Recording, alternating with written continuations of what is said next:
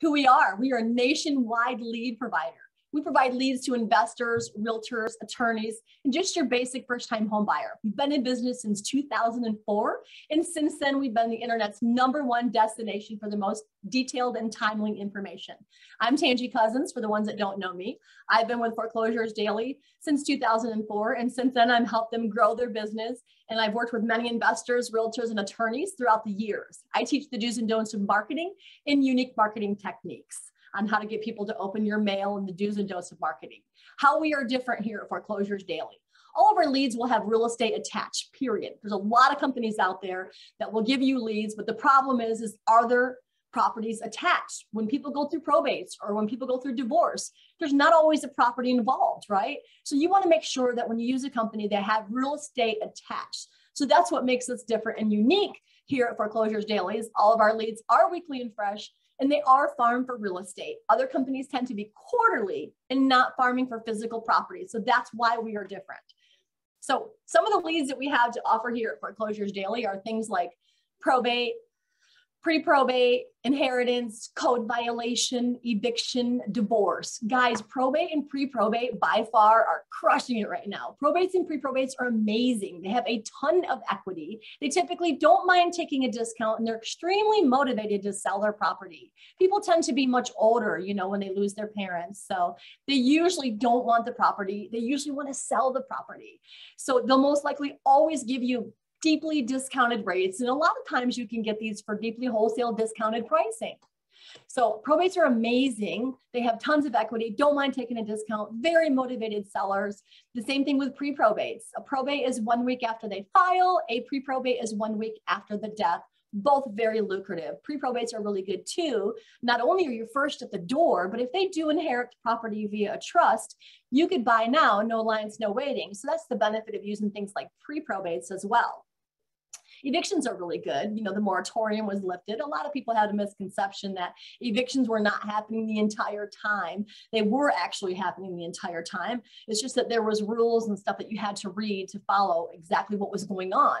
So evictions were still allowed. It's just that the owner had to, the home, the homeowner, if they wanted to evict somebody, the tenant had to prove hardship due to COVID to you know, to basically cover themselves from that law of not being able to be evicted during the COVID process. So evictions have been happening this whole time. But what's good is a lot of people dropped off because they didn't think they were happening. So that's a really good hotspot right now. So evictions are real good. Divorce leads are very good. All of the leads are weekly and fresh and all farm for real estate. You never get more than like 25 leads a week. We do have a cap on those six lead types that I mentioned. And the reason why is we have to know what to charge you, right? So it's like we don't really know how many people are going to pass with real estate or file for divorce. So what we did is we did a nationwide statistic, and there's usually no more than 25 leads a week anyways, unless you're in a bigger county. So those are some of the leads that we have. And here's marketing. We offer a lot of marketing with our leads. When you buy leads from us, we do offer postcards and letters and so on and so forth. Then this company will actually give you a deeply discounted rate for um, using the postcards they'll they'll mail postcards for you for only 38 to 42 cents with postage. So it's really cheap uh, and they get that discount through our company using a special link that you can click on when you buy leads from us. We also give you access to a letter that's got the handwritten font which is really awesome. It's very legible. It looks like you hand wrote the letter yourself and the envelope and they're only charged like 64 cents with postage for these as well. We do give you a lot of bonuses when you buy leads through us. We give you things like a six step mailing campaign a six touch campaign. We give you access to our phone scripts. We give you emails to send to the attorney expressing interest in the said property, the postcards, the letters. We mail you a physical probate book to your property or business called Probate Real Estate Sales 101. And the author's name is Kevin Sales. We actually know him. So we'll share a webinar that we did together teaching the seven ways to make money with probate real estate investing. So you get a lot of different bonuses and benefits to using our lists. So that's pretty much all I wanted to tell you guys about our list is the different types of leads that we do offer. And um, what we can do from you. If you do stay on to the end of this webinar, we have some surprises for you. So absolutely stay on so you can get any bonuses that are offered. So you have to be on this call and the end to get anything that's being offered by Tiffany and Josh or my or ourselves here at Foreclosures Daily. I'm going to go ahead and stop sharing my screen for just a moment because I want Tiffany and Josh to start sharing their screen. And I'm going to tell you a little bit about them. I met Tiffany many, many years ago, and they started investing about six years ago And it took them about six months to find their first deal. But let me tell you, when they found their first deal, they absolutely exploded. In their first year, they did 40 rehabs. In their second year, they did 165 deals, rehabbing and wholesaling. They actually exploded into massive results. And since then, they've been doing hundreds and hundreds and hundreds of deals a year. They've been recruiting and building out, onboarding, and leading out high performance sales teams. And they're going to teach you guys how to do a lot of these things tonight. So without further ado, I would love to introduce you to Tiffany and Josh. Hi, how are you guys doing?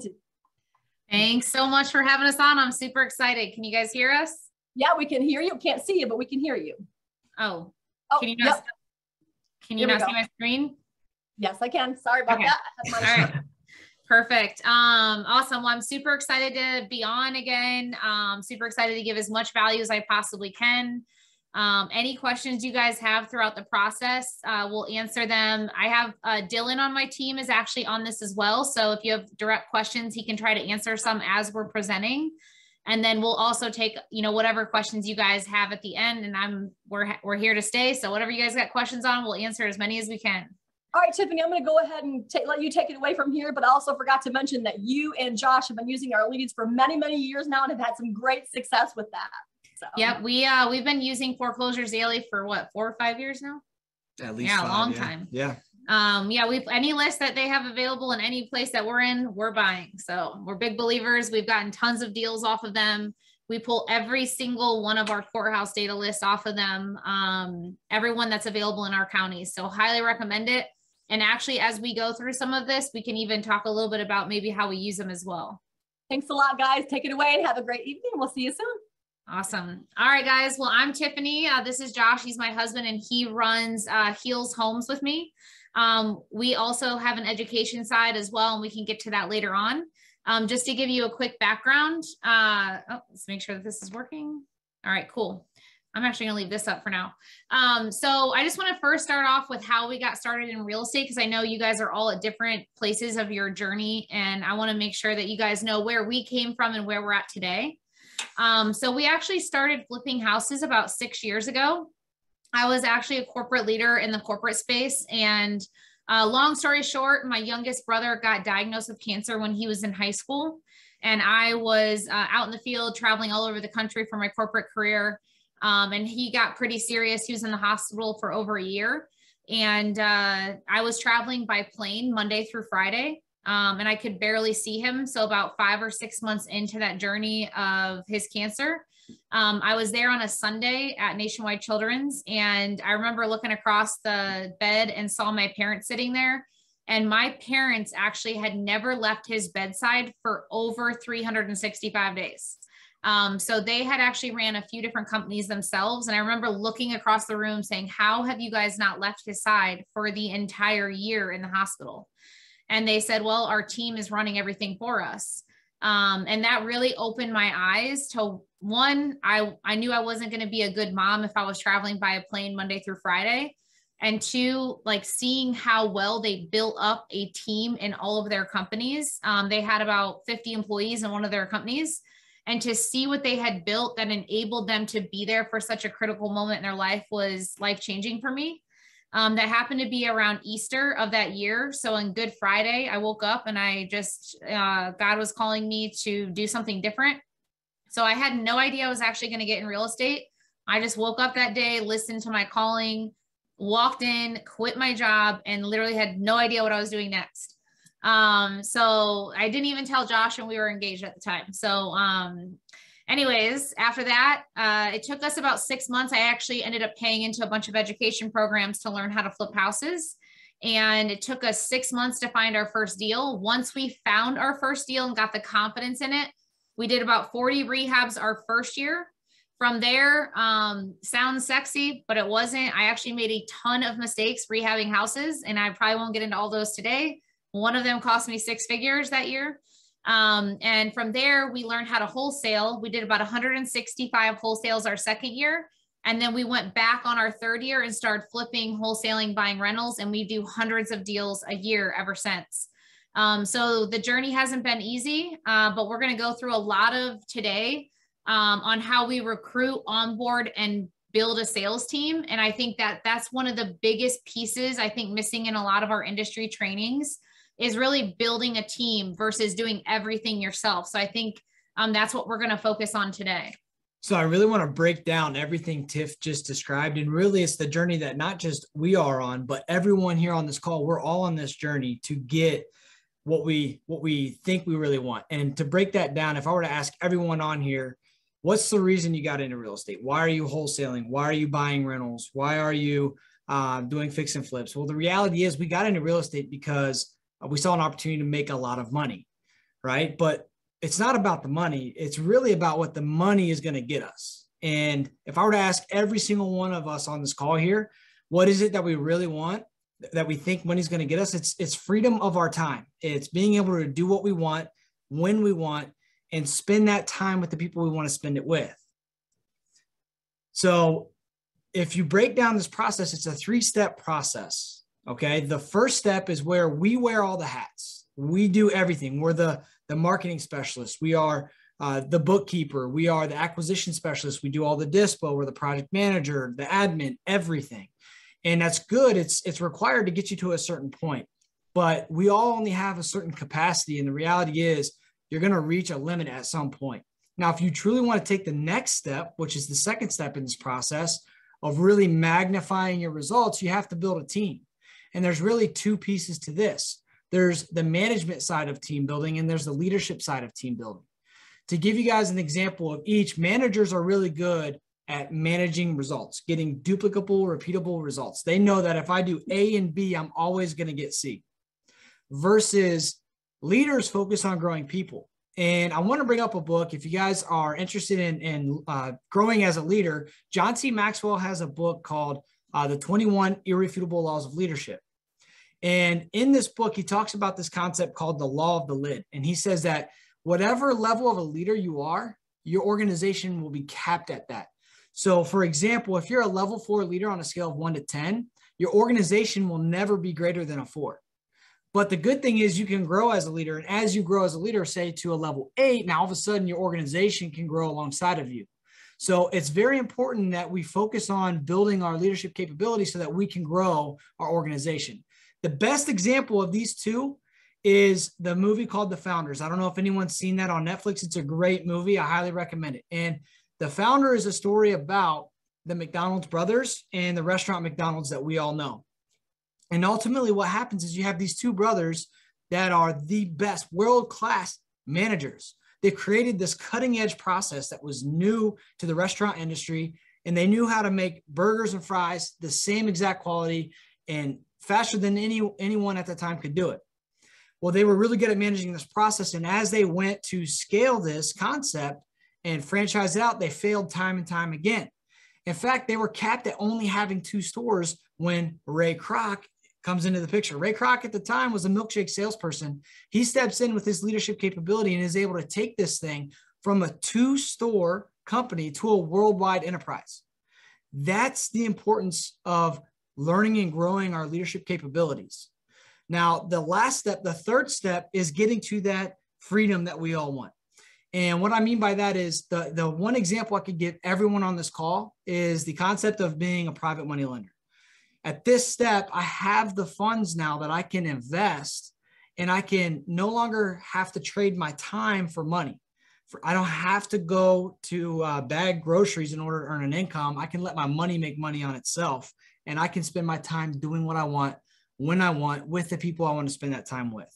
So today, like Tiff mentioned, we're going to really focus on taking ourselves from that first step where we wear all the hats and talking about our first hire or our first few hires into building a team so that we can magnify our results. So today we're going to talk about how we become profitable, consistent, and predictable. Um, to be honest with you guys, one of the things that growing up in this industry over the last uh, five to six years is that we attend all these events and we take these trainings. And unfortunately, a lot of the trainings will teach you how to do everything. So, you to cold call or you to do this and you to do that instead of teaching you how to build a team that can help you become consistent and predictable. Um, so we're going to talk about how we build the foundation, our systems and processes. We recruit the right people how we have an onboarding plan for them and set expectations, and we want to become the right leader. So we'll get into the details as we go through here. But I don't care if you want to make 10 grand, 30 grand, 100 grand, 500 grand a month. Um, what I care about the most is that it's consistent, it's predictable, and it's profitable. And you can do that at any level you want. Um, and I think it's just important that you become predictable. Uh, if anyone on here is doing quite a bit of deals a month, I'm sure you've been through a time in your in, in your journey through this industry that's up and down, and we all know that that creates anxiety swings that we want to prevent. And the way we prevent that is through becoming predictable. So let's talk about building the foundation. Um, CRM. So just so you guys know, the first year when we did 40 deals, we did it on pen and paper. So don't ever let a CRM hold you back from becoming wildly successful. Um, you can do that and get started without a CRM. Now, I'm a big believer in whatever CRM that you do that is customizable. So I don't care if it's Podio, Salesforce, you know, uh, REI Black Book, any of these other CRMs, as long as that platform allows you to customize as you build. So if it if that subscription doesn't allow you to customize things, I highly recommend you go with a platform that allows you to customize it. Um, one of the mistakes we made along the way was we got thousands of leads in a system that tracked me and my growth. And then we had to then transfer over to a customized build out so that as my team grew and needed things as the team would build out, I needed to make sure that the system would customize to our growth. Phone systems. Um, so, quick story on our third year in real estate, we built a team up to 12 salespeople and it was miserable. And what happened was, as we started growing, we hired a bunch of people that we didn't hire based on core values. We didn't have the right training, the right onboarding, the right day to day systems. And we ended up having to let go of three fourths of our company all in one day and have to restart halfway through our journey. And I want to make sure that none of you go through that. Um, and so at that time, what we did was we brought in a mentor that had built multiple multi-million dollar companies based off of phone sales. And it actually, he didn't come from real estate. He came from a different industry. And when he came in, I paid him a lot of money to come mentor my team and rebuild how we manage and build scale and scale sales teams from the ground up. And he made me realize that one of the most important assets to that team is your phone system. So I don't know um, what phone systems everyone's using in here. Feel free to throw it in the chat and we can talk about it at the end. But ultimately, um, for example, let's say you use either your cell phone or a system like CallRail or whatever, and they're hand dialing the phone number. Obviously, this is not productive. So imagine the difference between one person who's very skilled on your team and giving them, say, a phone system where you have to hand dial versus a phone system that can click to call really fast, or one that you can make views and say Podio and then it can connect a dialer system into your phone into your into your uh, crm system. And then you can like four line plus dial leads and follow up within your system. So now all of a sudden you took one closer on your staff that used to make maybe 50 dials a day using a system like callrail and now they can make hundreds of dials a day sheerly from upgrading your phone system so now instead of having 12 salespeople, I can have five salespeople doing two to three times the revenue because of the productivity the phone system created for them. So the phone system, if you are doing all of your deals over the phone, we lock up 95% of our deals over the phone. So our phone system is their number one asset that drives productivity. One of the biggest things that we see, um, for example, and we can get into this more in a minute, is we see a lot of companies unfortunately track things like talk time and dial count. And not that you shouldn't track them as leaders, we should still track them on the back end. But from a acquisition manager, manager perspective, if say you're holding them accountable hypothetically to 80 dials a day and two hours of talk time, what do you think they're going to focus on? they're going to focus on getting the most dials and the highest talk time versus getting quality conversations and the highest conversions. So we want to make sure that they're tracking things that are the most important things that move the needle forward and tracking dial count and talk time as their main KPI is not productive for them in the role. That doesn't mean that you shouldn't track it on your own reporting and pay attention to red flag indicators, but don't have your actual sales team members being held accountable for that on the daily basis, or that's what they're going to focus on. And to piggyback off of this, imagine if you're an acquisition person and you have a minimum expectation of, let's just say, 100 dials at the end of every day. And if you don't hit your 100 dials, you're going to have to sit down with your manager the next morning. Now, let's say you had a ton of great conversations that day, but for whatever reason, because you've been on the phone a little longer, you're a little behind on your dial count and you're coming up on the last hour, maybe hour and a half of your shift. And let's say you got to come up with 40, maybe 50 dials. What are you telling yourself in your head? Well, I want to make sure that I don't have that tough conversation with my manager tomorrow. I'm going to go call everyone in the system that's most likely not going to answer the phone because they're focused on that dial count and not really moving the needle towards what really matters, which is getting deals signed. So you want to make sure that you're incentivizing your team to have the quality conversations because those quality conversations are going to lead to offers, which will then lead to deals. So let's talk about marketing. All right. So um, every seller out there they all look at things in a different way. Some maybe watch TV, some open mail, some text, some call. So if you are on here and you're only doing one or two marketing campaigns, in the long term, that will not survive. So as we build up, we need to ensure we diversify our marketing. So we do everything out there cold calling, texting, direct mail, RVM, Facebook, Google, TV, all that. We do everything. Um, and I think it's really important that you diversify your marketing because not every campaign is going to be profitable every single month sometimes. Now, it will be on the year, but maybe not just in the individual month. And sometimes people can't afford to not be profitable for a month. The other thing we have to think about on marketing campaigns is the cash conversion cycle, which we could do a whole nother training on. But I want you, we'll just talk about one campaign. So let's say that I'm launching cold calling and I spend a dollar today. So let's say I launch cold callers, I spend five grand this month on cold calling. To give you an idea of the cash conversion cycle in our company, keep in mind though, we've been doing this for five to six years. So our uh, cash conversion continues to spread because we land deals off of old leads. So I, once a lead raises their hand and they want to sell off of a cold call lead and it comes into our system, because our phone system is mastering follow up, it takes an average of 166 days right now for us to land that lead once it comes into the system. Once we land it, it takes 30 to 60 days to wholesale it or four to five months to rehab it. So the cash conversion means that if I spend a dollar today, it takes eight to nine months to actually get a consistent ROI on it. So if I launch cold calling for the first time today, don't think that you're going to get a return on your investment in the first two to three months you might get lucky and get a couple deals, but it won't be consistent for eight plus months down the line. And too often I see people in the industry freak out because they spend money today and then they wonder why they're not making money this month, the next month, or the next month.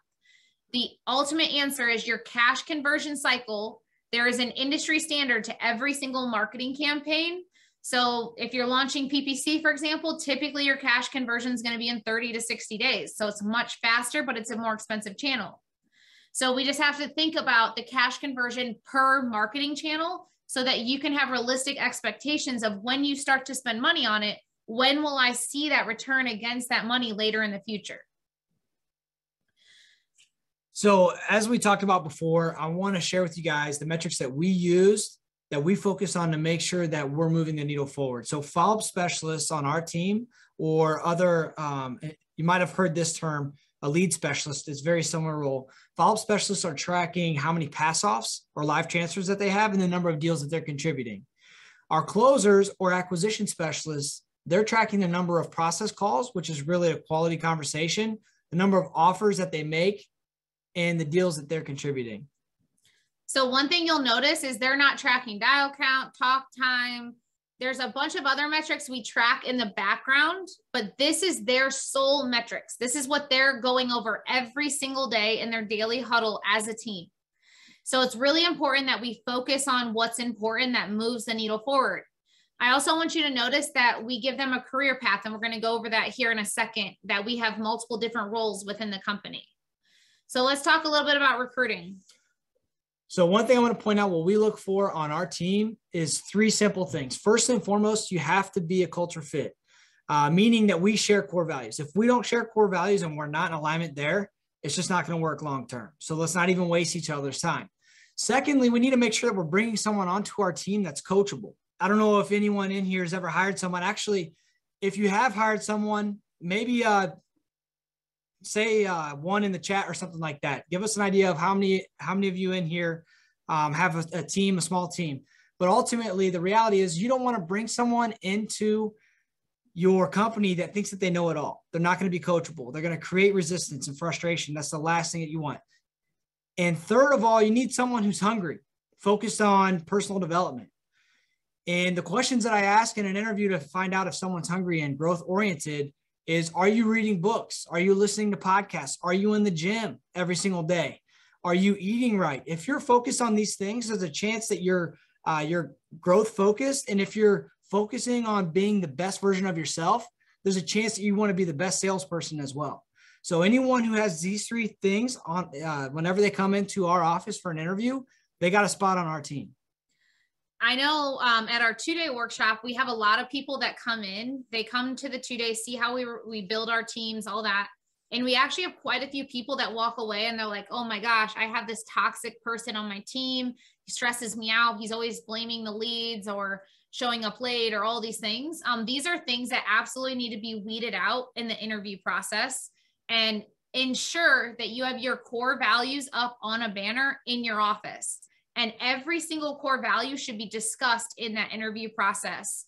Another thing I want to point out um, as we go into the recruiting piece here is we absolutely do not recruit people that are already in real estate. That is really important. I see too many people think, oh, this guy was wants to be a wholesaler someday, or oh, this agent, you know, wants to learn how to do this. Absolutely not. When you have the best onboarding and training in the industry, you can take anyone flipping pizzas, burgers, it doesn't matter. Our top closers right now that produce over a hundred thousand a month, one of them was in an eyeglass shop, the other one was a contractor, and the third one was doing cleaning before this. So I'm telling you, when you get good um, uh, people that are coachable and hungry, and you have really good onboarding and training, you can turn anyone into a closer as long as they fit into your core values, they're coachable and they're hungry. So let's talk about the recruiting process. First, we do a phone interview. Um, we actually use a recruiting firm now, but we used to also do it in house where we screen them out on the phone interview. So the phone interview is like, hey, here's the hours, here's um, how the expectations of the role. And we go over the basics just to make sure, hey, if the hours don't even work for you, let's not even go past this, the phone interview. Um, then we get to the Zoom interview. And before I get to that, one of the biggest things we do on all four interviews is we illustrate the career path of what it's like to work with us. So, unlike other companies, and I don't know what it is about our industry, but for some reason, someone must have started education years ago and said, Hey, here's a script, here's some training videos, you're getting 10% commission. That shit is not going to keep people um, you really need to illustrate illustrate a career path of moving up within the company or you're not going to retain them. They're going to be what's the number one thing that you hear in interviews of why people leave a career is because they feel like they don't they can't grow within their career with them. So we need to illustrate this path of getting to more money you know if they want to change titles etc so we have um, five roles i think it's on this real quick. It's the follow-up specialist they come in at a base in commission. After 10 deals close, they go to a senior follow-up specialist and they their uh, tier structure increases. They go to a closer, has a quarterly tier structure with a base, and then a senior closer has a higher base with a quarterly tier, and then they can become a team lead. And it's very clear to them when they come into the interview of how they hit every one of these promotions. So during this interview process in all the interviews, we describe, hey, here are the five key ways to get moved up. Here's how you hit those goals. Here's what a performer looks like. So we, when they come to the in-person interview, which I'll get to in a minute, we actually on a whiteboard already have out every one of those roles, what the minimum expectation, the average performer and a high performer is making in each one of those roles. So they can visualize, okay, if I'm hitting the bare ass minimum expectations of each one of these roles. How much money am I making? Because if you're not hitting that, you won't be working here anyways. So that's shown in the in person interview. We also described the 30, 60, 90 day expectations in those interviews. So, couple things we want to make sure they understand hey, you're going to be on a phone all day. Are you okay sitting at a desk, being on a phone, making hundreds of dials? The big thing with that is, I don't know if any of you have hired people, but we've made the mistake in the past. We bring them in, and a week later, they're like, wait, I have to be on the phone all day. I thought I was going to be like shaking hands and doing other things. I can't sit here like this. So make sure that your 30, 60, 90 day expectations and what the job looks like is clear when you're interviewing. So in that 30, 60, 90, it's like, here's exactly what you have to hit by 30, 60, and 90 days. And if you don't hit it, you're not performing. And we want to make sure that they are signing off, understanding that in every interview so that it's not unknown when they come into the role. We also ask core value questions in every single interview because I want to make sure that we understand are they going to fit into my culture? Because the culture is the number one priority in my office. One thing I get asked a lot is how do I feel about virtual people versus in house? I don't care either way what you do, but I can tell you that building a superior culture is way easier when your closers are in the office. If you walk into my office at any point of any day, you could open the door and it's like, I don't know, like you walk into a locker room at halftime of a winning game because it's full of energy, music is going, people are rowdy, high fiving, making offers and you don't get that environment if you keep people trapped in rooms with four walls. So not that i'm saying that you can't virtual we have a couple people that are virtual but the closers are physically located in my office so that we can create this winning environment every day. And one of the biggest things that our sales mentor at the time had taught us was le- being a sales leader is also a big part of that is managing energy and you manage energy by creating an amazing culture surrounding people. We also talk about uh, a little bit about W 2 1099. I don't want to get too deep into this, um, but eventually I want to make sure that people know that if you um, provide training, expectations, equipment, all that, they need to be a W 2, not a 1099. The other big thing is um, if you make someone a 1099, which I see frequently in our industry, for some reason people are afraid of payroll taxes, but the reality is you're asking someone to be an entrepreneur on day one of working with you. So you're asking them to think like an entrepreneur instead of be bought into your vision as an employee of the company. And you're going to end up likely losing them as a 1099 at some point versus keeping them as a W 2. And it's way more expensive to turn over employees um, versus keeping them and paying payroll taxes. So we do the Zoom interview. Um, that's only like 20 minutes long. And the goal of the Zoom interview is to make sure are they good again with the hours? Are they a core value fit? Can I get along with this person on a Zoom so that way we don't waste time on an in person interview? From there, if we feel like they would be a good fit culturally, we bring them into an in person interview. One thing I want to point out about the in-person interview is we're going to be asking questions again about are they growth oriented? Are you listening to podcasts, reading books in the gym, things like that. And then the coachability piece, this is where we're able to find out if someone is coachable or not. And what we do is we actually put them on the phone with sellers that are in our system live. And the goal is that I want to teach them pieces of our script, throw them on the phone. I want to see if they can implement it immediately and then I want to give them coaching points every single time they talk to someone.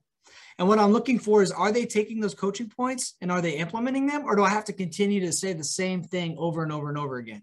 The goal is that they talk to five sellers on the phone when they're in this in person interview.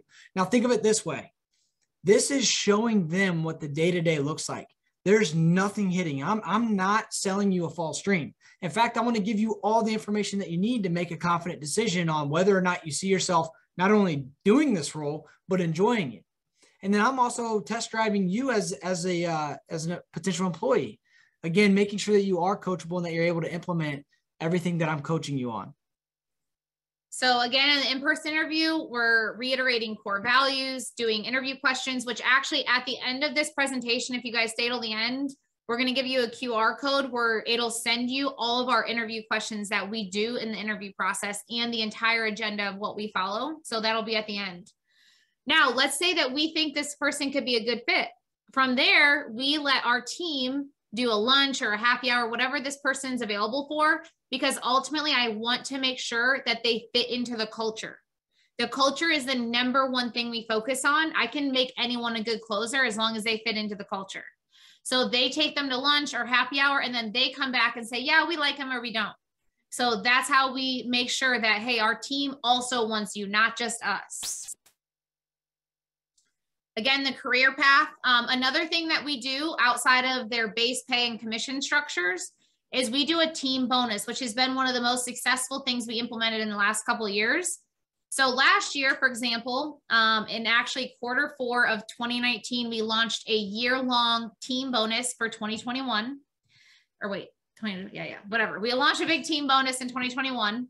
And we said, hey, if we hit this amount by December 31st, everyone on the sales team gets bonus the same amount. And it was very sizable. Now, there were rules to that bonus. You had to be employed at the company still. There was no prorations if you left. You had to hit minimum expectations at the company month in and month out for all the months. And um, you also had to be at, like, like, like I said before, you had to be at the company the entire time. So if they left, they don't get paid it. So what does that help? It helps sustain people, not have turnover. It also created this massive team environment because as long as they were hitting their minimum expectations, if they wanted to pass it to the best closer or someone else they felt would close that deal better, they worked as a team because the payout on the team bonus was so big that they just wanted to get to the team bonus the fastest they could. So as long they could hit it as fast as they wanted. So they actually ended up hitting it by July. So they got paid out that bonus in July instead of waiting till December. So it made them have one vision because at the end of the day, guys, your sales team should be bought in on one vision that's revolved around your revenue because that's what they drive. So whatever that revenue goal is, let's just hypothetically say it was a million dollars in revenue. You should be giving them some type of incentive that has one vision. And so every week at your team meeting, you're updating them against the quarter, the week, and where are they at against that big vision that gets the team bonus because they always every week they're like where are we at where are we at against the team bonus we can't wait to hit this team bonus onboarding. So I, I want to. One thing I want to cover real quick the biggest thing we see in our industry that I think a lot of programs are failing on, and it's not just with acquisitions, is no one is effectively onboarding. No one. And so uh, we have built our program on the education side around teaching you guys how to onboard and train effectively when building a team because without structure, you won't survive. And so if you look at how the military takes regular civilians and turns them into highly performing uh, people in the military. Or think about when we were babies. The only way that a baby really thrived as they grew up was around structure and routine. Um, and so coming from a corporate past when i came into this industry i saw too much in the industry of trainings that people would be like here's a script and some training videos. Go watch them and then let's shadow me and start performing that will not be effective and you will get salespeople to be inconsistent. And it's sheerly from a lack of onboarding. So in our company, we have an entire five minimum days plus of onboarding before you ever touch a phone. And it is involved around, and we're going to go over the details, but of video recordings, onboardings, quizzes, assessments, expectations. And then we quiz and assess you against what are you retaining or what are you not before we ever just throw you on a phone yeah, to Tiff's point, we as human beings naturally thrive in structured environments. So it's our duty, it's our responsibility as a leader. In order to put our anyone on our team in a position to be successful, we have to have clear cut, uh, structured onboarding. So we have five days of onboarding uh, for anyone that comes onto our sales team. And I want to go over some of the things that we cover in that onboarding. So, one thing, real quick, is day one of onboarding we always want to make sure we have the right HR paperwork. Some of the most expensive mistakes I've ever made were because I didn't put the right paperwork in place from an HR perspective. We take for granted too of making sure they have the desk set up, the gear, two screens, the right phone system, everything. Then we go over the agenda. We have it printed for them. We have a day by day, hour by hour agenda printed for them, explaining, hey, this is what we're going to do over the next five days. We also are going to assign a very clearly defined 30, 60, 90 day expectation so that we're both on the same page of where they should be along the next 30, 60, 90 day journey in, at the company. So it's very clear on what they should be hitting. There's no loose ends. And then we sign a compensation plan that's clearly defined with the pay structure and bonus structure with several examples under it so that they clearly understand how they get paid, when they get paid, how they hit these structures, etc. So the rest of the five day onboarding schedule, some things that we cover are our ideal customer profile. So one thing I see a lot of people in our industry lack when they go to bring someone onto their team, that new team member, they don't understand the types of situations where we add a lot of value. They don't understand, um, it, you know, for uh, foreclosure, for example, that this is our ideal customer because we can bring a ton of value to this person and it doesn't matter what someone's asking price might be in that situation. If I can bring a lot of value to this prospect outside of price, now all of a sudden the price becomes negotiable. I see a ton of people in our industry are so price oriented and you're walking away from deals because you don't understand the situations that you can add the most value to. So knowing and understanding what our ideal customer profile looks like is the first thing that we cover. Then we dive into sales psychology. It's very important that we understand the science behind everything in our script. I'm not just throwing you a script and saying, hey, go read it to every seller you get on the phone. No, let's understand why we're saying it and understand the strategy behind it. Now, when I put the script in front of you, all of a sudden you know and you understand why things are framed the way that they are. You understand why we're asking certain questions and saying things the way that, that we want to say them. Another thing is we have we have a crystal clear sales process. It's check the box type of process, meaning every single time I get on the phone with someone, I can now hold my team accountable because I can go back and say, "Hey, did you did you do your introduction? Did you set expectations? Did you uncover their motivation? So on and so forth." Uh, this allows us to bring coachability or coaching and accountability into uh, the sales process, and because it's coachable and accountable, it's also scalable. Now, the next thing that we talk about is we we actually teach our team on the components of a house. We teach them enough to be dangerous to know and understand how to underwrite a deal and become so good that they're plus or minus five, maybe 10% on any repair estimate based on the uh, based on the conversation they have with a seller on the phone. I see a ton of wholesalers in our industry that they, they lock up these deals and they shoot out this house at a price that just doesn't make sense because they don't understand these types of things. They don't understand the components of a house and what all is needed to get that house up to the market condition. So that's something that we coach on, and we're very big on this. Another thing is um, we don't, we also are big about training our acquisitions team all of the exit strategies so they understand our buyer base. A lot of um, programs out there will say, hey, go at Zillow times a percent minus a fee, and they make an offer that way. And that is not effective at all. You'll be walking away from tons of deals if you do that. So really good, we get dive deep into again all the components, the roof, the flooring, understanding different plumbing issues, um, how to understand the maximum allowable offer by running the right comparables. Um, and then understanding exit strategies. Too often we see a lot of people in the industry just wholesaling. Yeah, that helps you maybe get started, create some cash flow. But ultimately, as you're spending marketing dollars, one of the biggest things we tell people is you should be spending about 15 to 20% of your uh, projected revenue in marketing. So let's just hypothetically to keep it even, we want to make 100 grand this month. You should be spending about 20,000 in marketing. You want to make 50 grand, you spend 20% of that. And ultimately, there's going to be a lot of deals that if you don't learn how to rehab eventually or wholesale, you're walking away from a deal that that's the only way that it's a deal. So let's just say it doesn't make sense as a wholesale, you'll be walking away from a $20,000 deal if we can't take it down and at least list it. So some other things that we cover is just knowing and understanding specific industry lingo. One thing that's really important in any sales conversation is our prospects have to have a level of certainty that we're an expert in our field. And if we don't understand tenant situations, for example, or what a purchase agreement is and what it even means, then our prospects are going to have no confidence in us being an expert in our field. So this is very important, as well as other tools that we're going to be using on a day to day, like our CRM, our phone systems, how to run comps, using tools like DocuSign or other forms of e-signature. Um, again, the industry documents, and uh, and we actually have a video uh, training on our purchase agreement that goes through word by word, paragraph by paragraph, what everything means.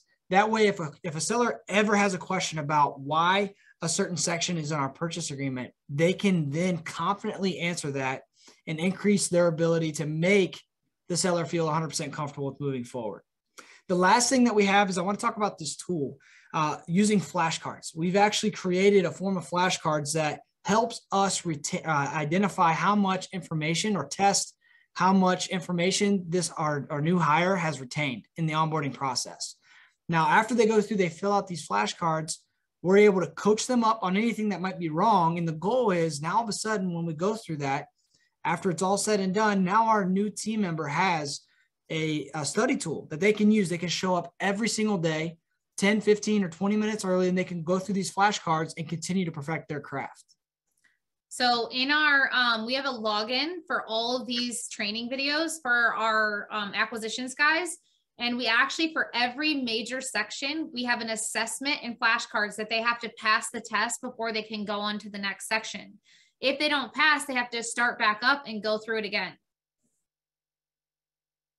Let's talk about the leadership side of things.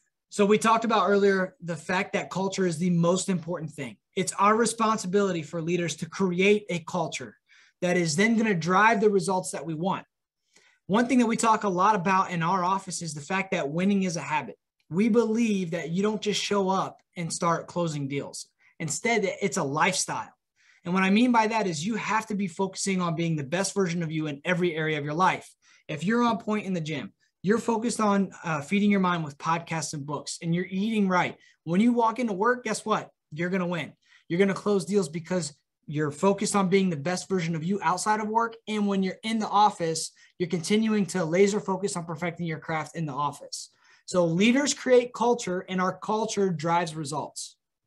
So, one thing that we can do to help create this culture is again going back to that structure that's required for us as human beings to thrive we have to have a meeting rhythm.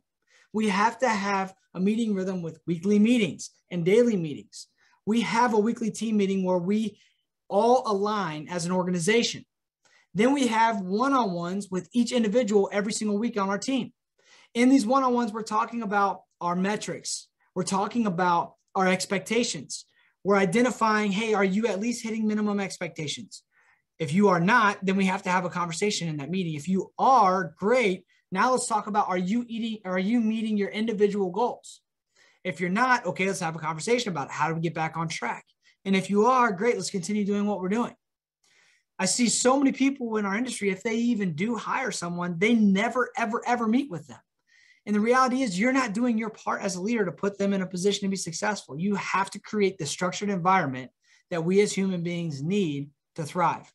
Now, on a daily basis, we have daily huddles. For our sales team, for example, we have a huddle for them and we go over a short agenda. Every meeting starts with gratitude in our office. We talk about things that we're grateful for. We talk about our metrics from the day before. We go over any sellers that we feel we could put in contract this week.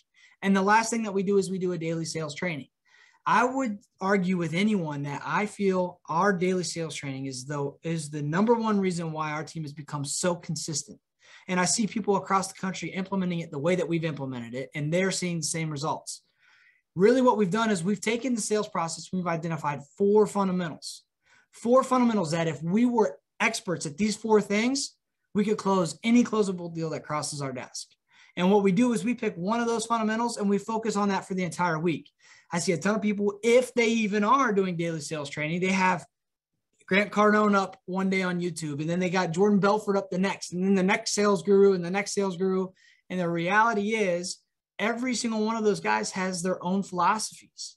And it's all information in one year and out the other because it, those tactics never, ever, ever get, actually get implemented. So instead, let's identify the fundamentals that we want to be experts in. Let's focus on that fundamental for the entire week and let's make sure that we are true masters. It's almost like Michael Jordan. You know, Michael Jordan, arguably the best basketball player of all time. He still showed up to practice every day and was shooting free throws. He would still warm up doing layups. He would still do dribbling drills. Why are we any different? We're not.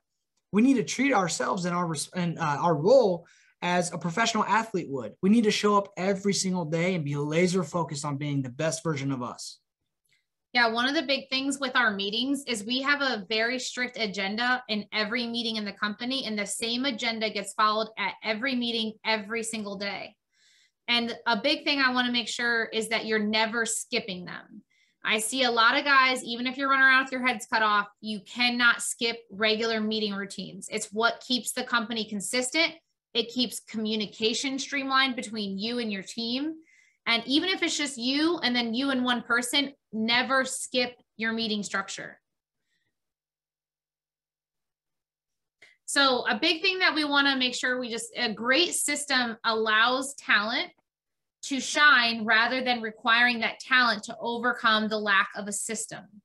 I think that's really important. Take a picture of that because too many people in the industry that's where they don't have a system, they don't have onboarding, they don't have tools built. And so they just bring people in, scramble, and they're reactive to how they train and onboard. And then the next person comes in and then they make the same mistakes over and over and over. So putting a great system in place and don't recreate the wheel. People like us and other people in the industry have different systems already built for key roles and don't recreate the wheel. They're already out there working for other teams. Um, so just make sure that you guys understand that a system is what creates results.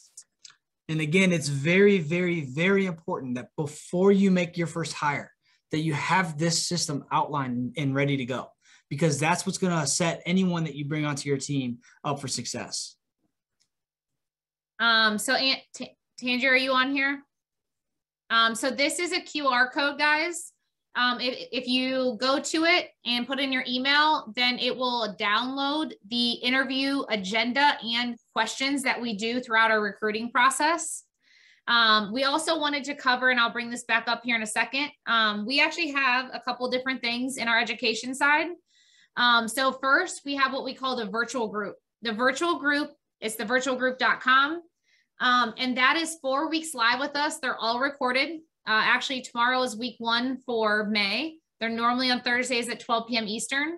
And it's integral that I always say I don't care if you're doing one deal a month or 20 deals a month, there's always something to clean up in our foundation, our processes, our systems.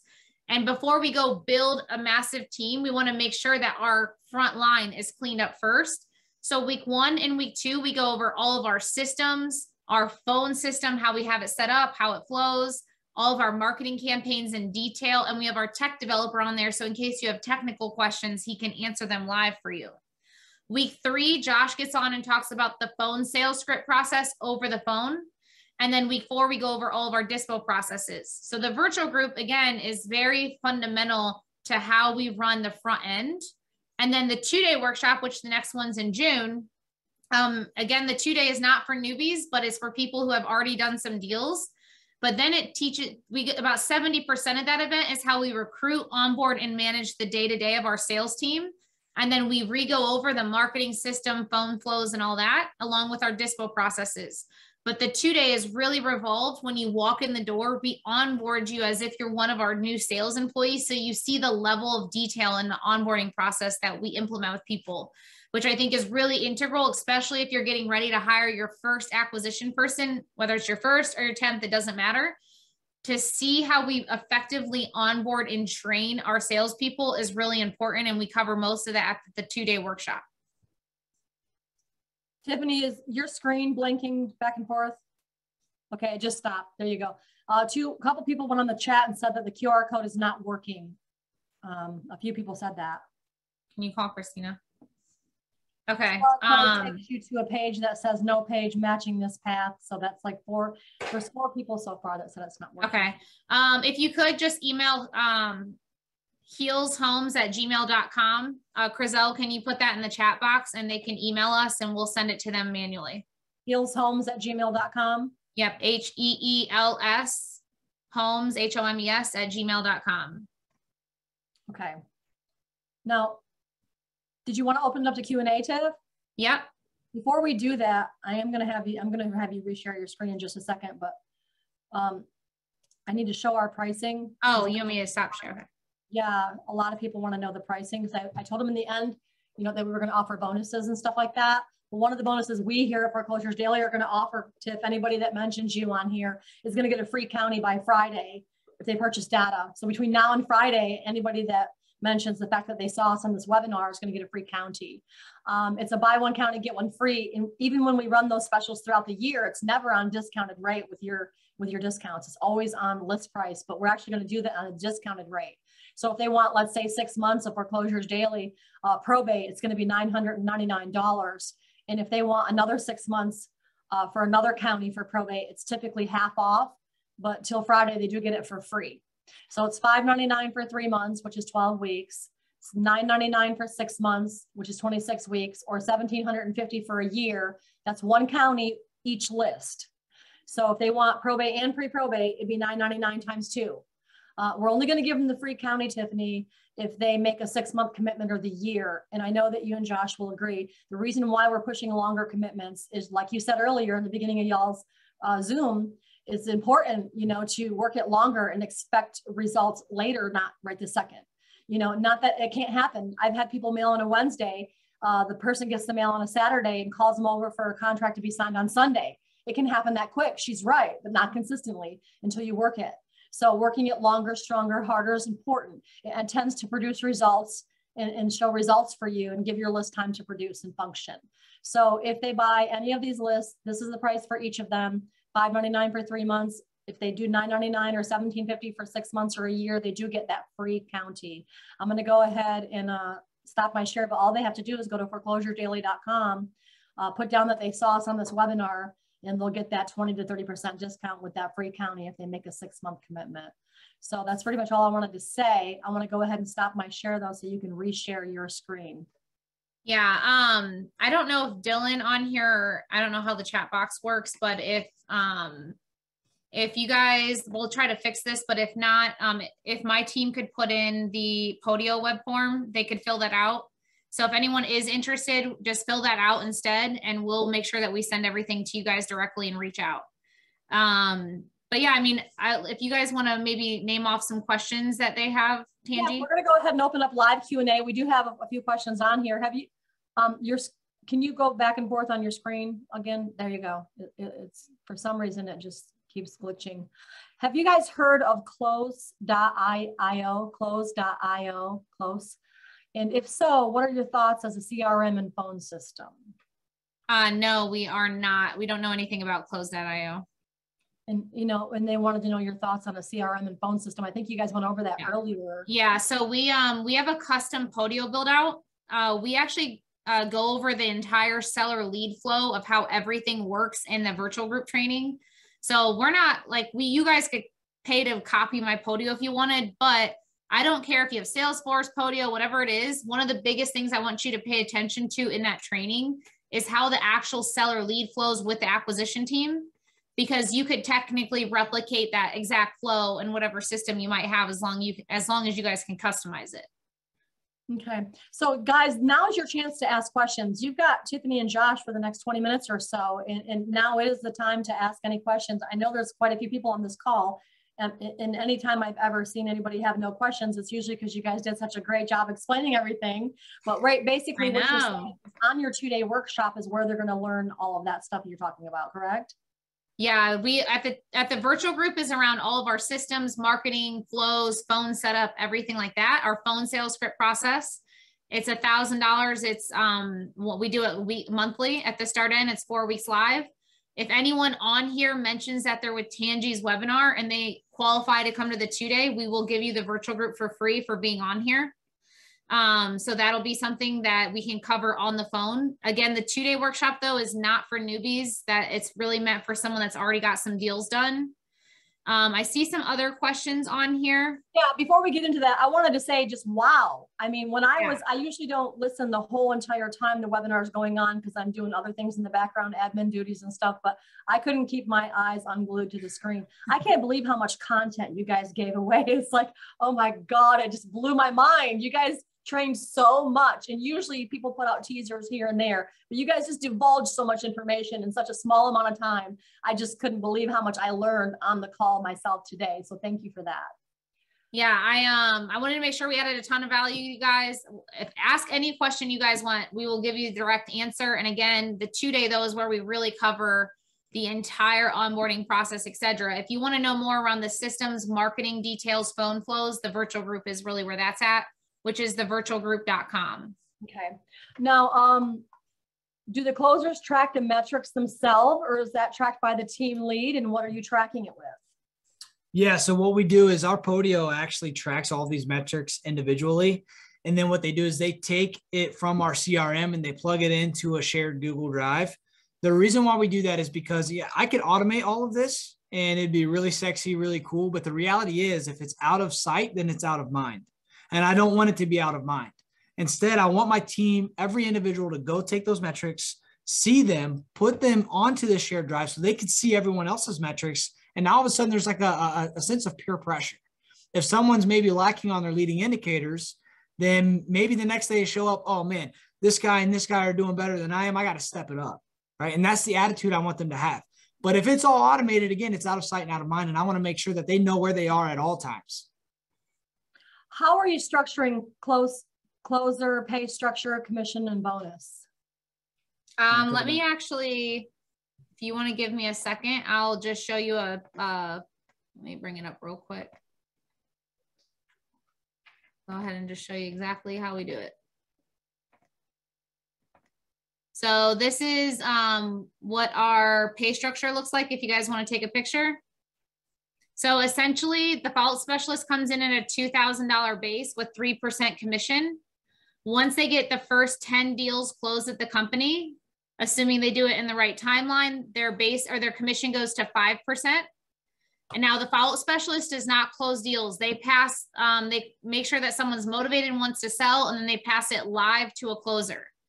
The closers have a $2,000 base and a quarterly commission tier of six, eight, and 10% that we do. And then a senior closer means that you have hit minimum expectations for at least six months and your base gets increased to 3000 and then you can become a team lead as well in the future if we feel you have leadership skill set. Um, again, team bonus has really got to be to what you guys do in specific.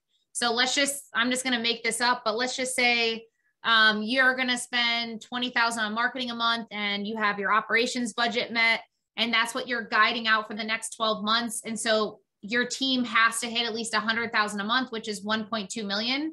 You can say hey guys the goal this year is 1.2 million and you have until December 31st to hit it. But if you hit it by July or whatever the fastest is that you hit it is when you get paid out whatever bonus you feel comfortable giving them. You guys can structure it however you want but if you do something similar to that it'll create this team environment that creates them on one page to hit a common goal. You know, to Tiff's point, one thing I see a lot in our industry or even sales in general, um, everyone is fighting each other for leads. Like, oh, it's my lead and hoarding the leads and, and not letting anyone know about anything that's going on with the their leads. On our team, nobody owns any leads. In fact, we're all working together towards one common goal, which is closing deals. I don't want one acquisition person to hold back information from another just because they're being selfish. And maybe that one acquisition person just doesn't have what it takes to build a relationship with that type of a person. I want them to work together to close the opportunity and say, hey, you know, man, I missed I missed out on this opportunity. You should go call them and, and, uh, see if you can work something out. The reality is we're all working towards one goal and we're all on the same team. So one thing I want to point out about what he said is I'm going to reiterate this. Nobody owns a lead in my company. So let's say I get off the call and I put them in a follow up category. Eh, the way that our phone systems are set up is we actually have a dialer embedded into our CRM. So let's just say every seller, I'm making this up, but is that's in follow up for today. That's one view in Podio, and the dialer system is connected to that view. And we all will have someone on that dialer campaign that day. And it doesn't matter if five different people were attached to those leads we have a follow up specialist that's mass following up. And whenever someone's ready to get closed, we pass them to whatever closer is available. The only time someone actually owns a lead in our system is if it's in a status called set offer. And that means that they're literally in the process of taking them to make an offer. If they don't accept it, they go back into a mass follow up flow that we have set up. But before and after, if before and after uh, uh, offer, there's no lead manager that actually owns the lead. So, for example, let's say I call someone, I put them into follow up. I'm not the only person responsible for that follow up because if I'm here for three plus years at this company, there's no way in hell I can keep up with thousands of leads in my personal name. So, if you're doing that, I'm telling you, you're missing out on opportunity and you're creating this environment within your team where people are going to be protective over their leads. It's not their leads, it's the company's leads. So we want to treat it that way.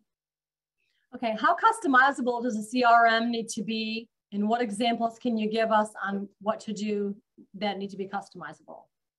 Um, I mean, I can give you a lot of examples, but ultimately we have a custom built Podio. Um, you guys are welcome to copy it if you want. You can reach out to us on your Podio web form that, that the team sends you and we can put you in touch with our developer. But ultimately, the big thing is, for example, um, when we started doing one from one rehab a month to 10 rehabs a month, we needed a rehab section built. When we grew our team out bigger, we needed certain sections built out for custom to the team. We started raising millions of dollars, so we built a private lender section. Like that's why if you have a subscription, you have to be careful because it might cap your growth and uh, the your ability to adapt to what you continue to do over the course of time. What is the role of a follow-up specialist and do they analyze deals and make offers too? So follow-up specialists do not analyze deals. They do not make offers. Really the role of a follow-up specialist is to touch base with people and qualify or disqualify opportunities. So when we get a seller on the phone, they have a basic script that goes through our qualification process and they're able to determine very quickly in less than three to five minutes if this is a qualified opportunity or not. If it's qualified, they're live transferring it to a closer to go through our sales process. If it's disqualified, it's being put into a follow-up sequence. What phone system Podio integration do you recommend for click to call? So we have a phone system that Podio actually owns um, called smrtPhone. But before you just go sign up for it, the most important thing is not just getting the phone system, but understanding how to hook up the phone system and mm-hmm. use it the right way. Right. Um, Actually, the way I think of this is almost like a contractor. What good is a contractor that has all the right tools but doesn't know how to use them? If you have a drill and you don't know how to use the drill, or a nailer and you don't know how to use the nailer to its full capacity, then you're limited. You're limited as a contractor. It's no different. Yeah, we're telling you all the tools that we have, but it's how we use them that's so important.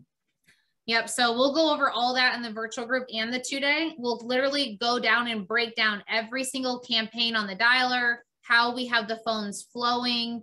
You know, if, if for every marketing campaign, how does the inbound call happen? Who's answering it? How's it getting moved throughout the team? All that kind of stuff. Now you said if you're a newbie, don't sign up for the two day, but what do they sign up for if they are a newbie? Um, I will talk to my team on that. The virtual group is really where you want to start. So just keep in mind, um, the one thing I want to be clear on is that we don't teach how to get a purchase agreement signed, what escrow is, none of that. That's all very basic stuff you can learn on YouTube. Um, our virtual group is literally how our system flows, how the marketing campaigns work, how our sales script process works over the phone, all of that. So I just want to make sure that you guys all understand that it does not teach you the basics of escrow and closing the actual deal. Did you explain the price of the virtual group? I think that you should let them know. Yeah, the virtual group, affordable. if you're a newbie, is really affordable, and that's really where you should start. Um, it's only $9.97. It's a thousand dollars, and it's called thevirtualgroup.com. Um, and we can send that out to y'all that's really where I would start if you're a newbie um, or only like got one or two deals under your belt. Because in reality, you have to get your systems and your sales script process down before ever thinking about building a team. Well, when the 997, what does that cover? Like, how long is that for? So it's four weeks live with us. It's typically the first four Thursdays of the month at 12 p.m. Eastern. Um, for this, for the month of May, we're actually having week one tomorrow at noon. So week one and week two, we cover all of our, again, our phone systems, our CRM, our flows, every single marketing campaign and how they work along with process flow diagrams so that you can see how every single campaign is working. And uh, our Podio developer um, is on there. So if you ever need like your phone system set up or anything like that, he can set that up for you. So you can reach out to him. He can set up whatever things you guys need set up. Um, and then week three, Josh gets on for a couple hours and he goes over our entire script process of how we land the deals on the phone. which is critical to understand before you go hire someone. And then week four, we go over all of our dispo processes. Now, for the month of May, week one is actually tomorrow at 12 p.m. Eastern because I'm on vacation Thursday. And then the next three weeks are Thursdays at uh, 12 p.m. Eastern. They're all recorded and stored in the drive for you. So the beauty about that is, even though you're going to be on May's live group, if you say in three months, I always give everyone access to a lifetime of the recording. So let's just say I launch a new marketing campaign and it doesn't work or it works, or I want to show the data to it. I always go over this live and I'll say, hey guys, anyone in the community, go watch week one. I just launched a new marketing campaign. Check out all the updates that we did. Um, examples, we go over how we use Tangie's data in that, exactly how we market to it on every single marketing campaign, when we hit it, how often we hit it, all that. We go over everything from what data we're using in that as well. Okay, what markets are you guys currently in and do you face any hurdles you can care to speak about um, when expanding to different markets? Yep. So we um, are big believers in going deep instead of wide. So we're only in Columbus, Ohio, and Kansas City. We'll probably do four to five million dollars in rehabbing and wholesaling this year. Now, I know a lot of people do the national wholesaling model where they go wide with things like PPC.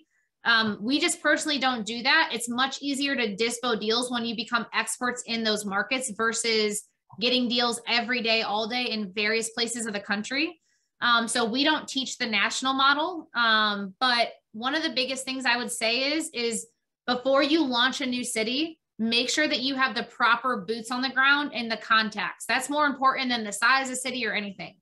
So if I launch a city and I go find the right realtor, the right runner, um, the person that can dispo my deals, if I can't dispo them, that's more important than anything else, in my opinion, because as long as you have the right contacts to move a deal, it's better than launching some massive city that everyone talks about if you don't have the contacts. Okay, two questions. Um, one, you mentioned selling more than 40 houses in one year. That's more than three houses per month. Did you have several crews going all at once to flip any of those houses? Absolutely, we had more than so. We had several crews on a house at any given time. Uh, yeah, it wouldn't be doable or functionable if we only had one crew on every single house. Yeah, I mean, it would take us six to eight months a pop. So yeah, we have several crews. Um, now we actually have one main GC that we use, but he manages out 15 plus crews himself. Wow.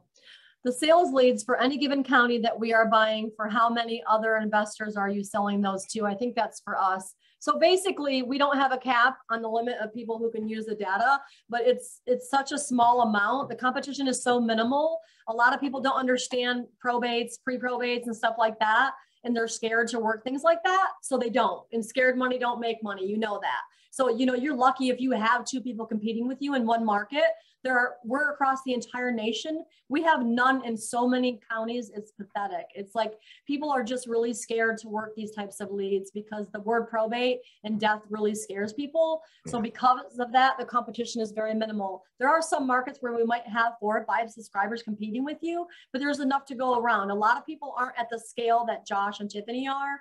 And a lot of people are go at their own pace and they go a lot slower. And when they get one deal, they'll just stop until they finish it completely and start again. I don't recommend that, but that's just how people are. And that's what happens. So the competition is extremely minimal with these types of leads. You don't have to worry about competition. It's not like the foreclosure industry where everybody's fighting over the same lead and you're trying to find that needle in the haystack. You know, this, the competition is so minimal, you don't have to worry about stuff like that. Hey, Tangie, I want to I want to point out two things if you don't mind me saying this. Uh, there's two things that are very important to everything that that Tangie's talking about right now. First and foremost, if there is competition, you have to make sure that your marketing is on point to where you beat everyone to that opportunity. So the marketing is critical. And secondly, if you're if you are targeting things like probate, you need to know and understand how to approach those conversations. If you have the proper approach, you are going to close those opportunities yeah you want to be different you know? A lot of people do different things for marketing and stuff like that and you know you don't want to be that basic person you know? You don't want to offer condolences or sympathy you don't want to talk about somebody's death you want to be real simple basic marketing. So it's you and your marketing and the things that you're going to do that's going to set yourself aside. I have one person that sends out marketing just offering to let them know the value of the home.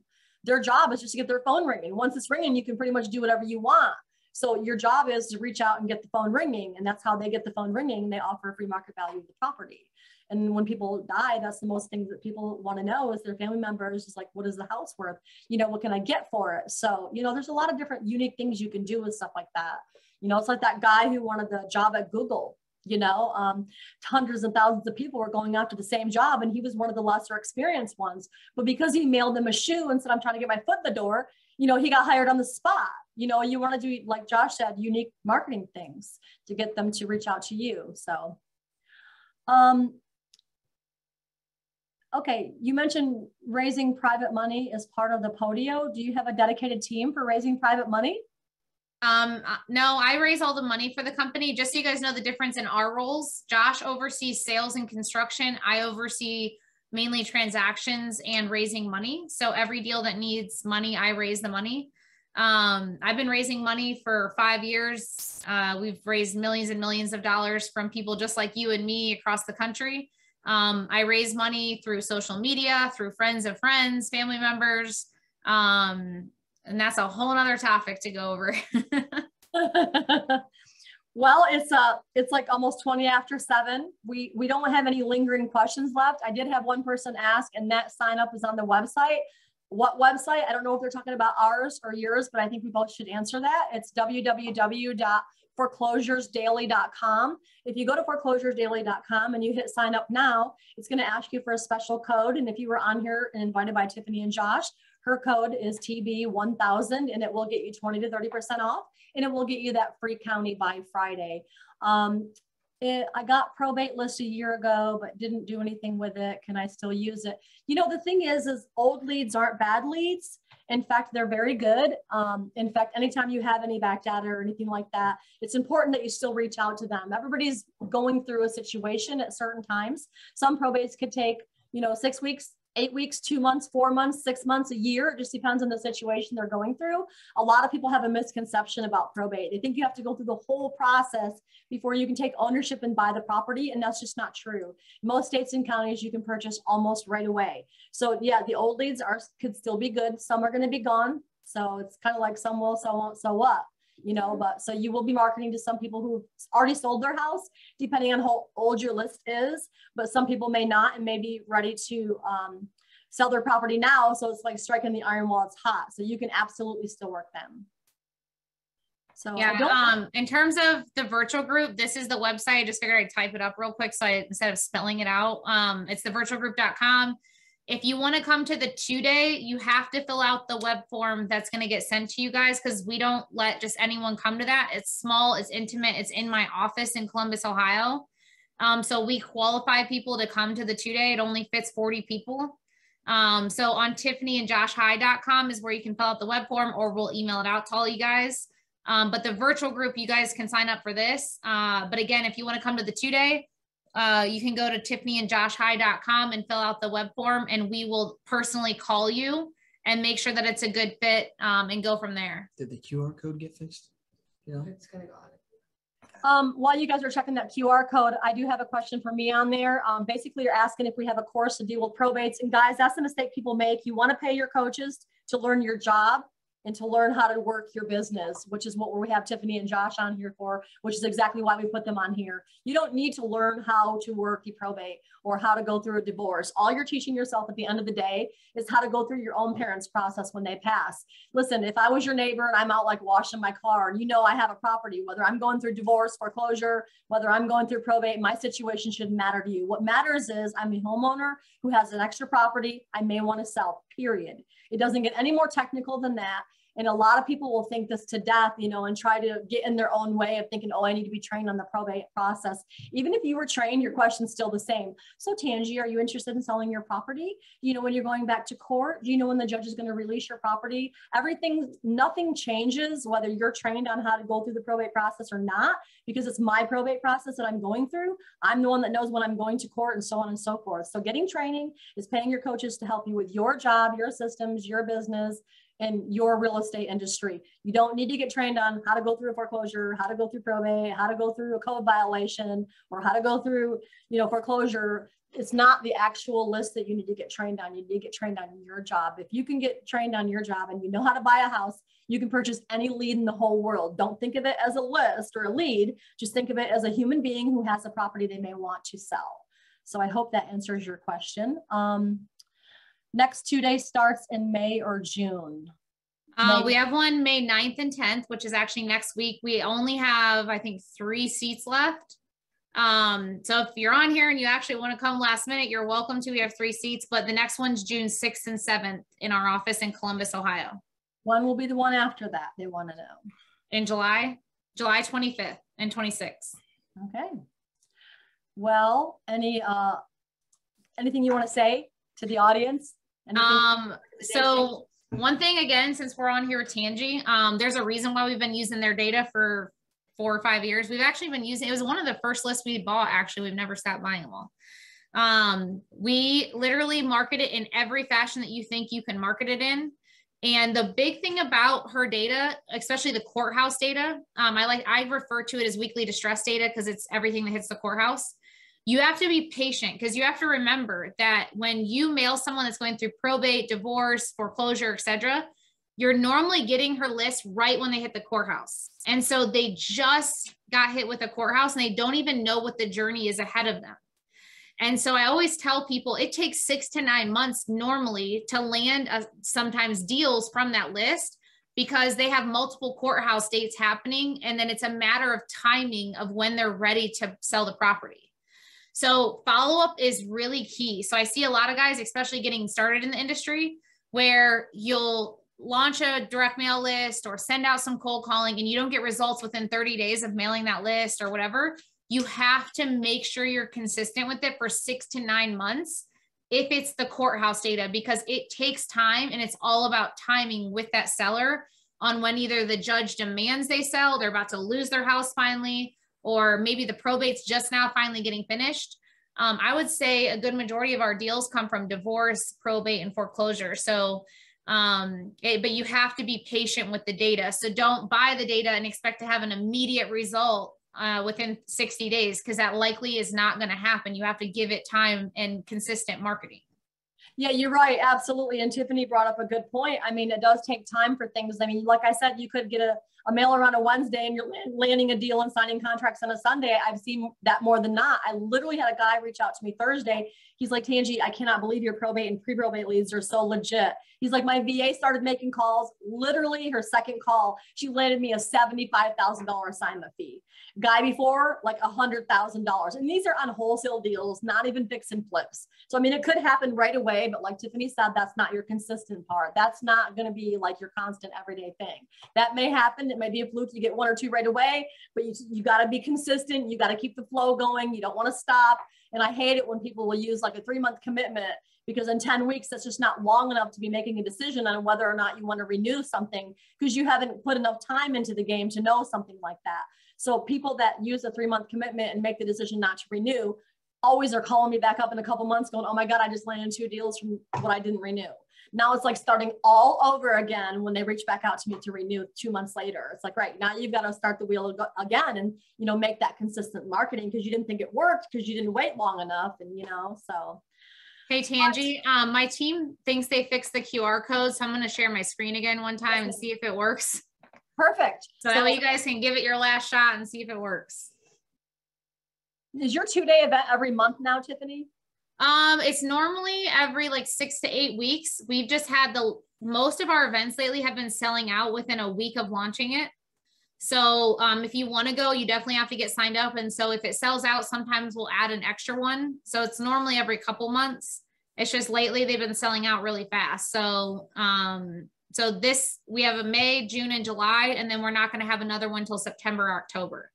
You know, I had somebody come to one of your weekend events one time, and he said, "Tangie, I had the pleasure of spending the weekend um, with Tiffany and uh, Josh, and he's I could not believe it. From Friday to Sunday, it was like high octane. It was just mind blowing. He's like, she literally wakes up in the morning and she just goes until nighttime hits, and it's like, wow. He's like, but the massive amount of, of data and knowledge or knowledge that she gave us and that we got from those guys are unbelievable and unprecedented to anything, you know. So that's awesome. Yeah, the QR code's working now. So thank you for that. So anybody on this nice. call, the QR code is working now. Um, Josh, Tiffany, are you using a platform to market your wholesale leads? Uh, where do we get the market wholesale leads? Where do we go to market them, the wholesale leads? Um, you mean to like dispo the deal? Do you mean to disc, dispo the deal? Um, give us an answer on that because we're getting ready to wrap it up. Yes, to dispo. Um, so uh, we have a few things that we do on dispo. Um, I cover that in the virtual group. So instead of giving you like a 10 second answer, I'd rather go over in detail because it's actually a full out system to go over. Um, but we do email, text it out. One of the biggest things I recommend to you guys on the dispo side is do not mass market a deal. Like, don't launch your deal out all over the place. Get really good at selling your deals to VIP buyers. There's enough iBuyers in the industry now that they should be buying all of your deals. But what I see very common is when you mass market a deal um, and you don't get to know your actual buyers list, then that's when, you know, realtors go around you or other wholesalers and you run into all these other problems so if there's one piece of advice is get a really solid process down mass marketing to your VIPs only first before you mass market on like a bigger scale. Perfect. Guys, I think this is going to wrap it up. It's almost 7:30 and we have no more lingering questions. I want to thank you guys for taking your time out to be on our webinar tonight. We've been waiting since last year to get you on. It was great to see you again and I can't wait for yours and Josh's next training on what you were talking about earlier, doing a whole training session on that as well. And I know every time you guys train for us, you do something different and we we we are going to have the replay on YouTube, guys. So if you have any family members, friends, other investor friends, any realtors, uh, or I'm sorry, real estate classes you want to send this out to like if you're at a real estate investor meeting and you say hey i got some great speakers just go to youtube tomorrow type in foreclosures daily and the, the replay will be live on the uh, sorry the replay will be on the youtube tomorrow at foreclosuresdaily.com youtube. So check that out. And uh, guys thank you so much. We appreciate your time. All yeah. right thanks Tangie. thanks for having us on. Thank you. Not a problem. And if anybody has any lingering questions where do they go real quick um, it, if you go to tiffanyandjoshhigh.com and fill out that web form, we will schedule, we'll call you and answer whatever questions you guys have. But Thanks you need to fill out the form entirely so that we understand what your business looks like today. Okay, guys, any lingering questions, do what Tiffany just said, and it'll be on YouTube tomorrow under Foreclosures Daily. Thanks and have a great evening. Bye, everybody.